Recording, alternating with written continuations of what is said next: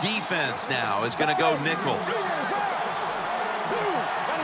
He'll take the snap from the gun.